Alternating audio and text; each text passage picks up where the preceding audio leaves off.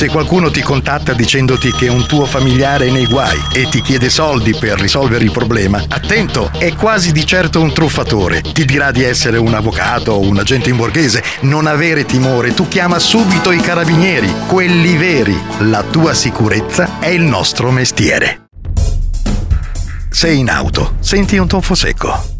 Qualcuno dice che l'hai tamponato, oppure un pedone dice che l'hai investito e ti chiede soldi come risarcimento. Attento, è una delle truffe più comuni. Non aver timore, in questi casi chiama i carabinieri. La tua sicurezza è il nostro mestiere.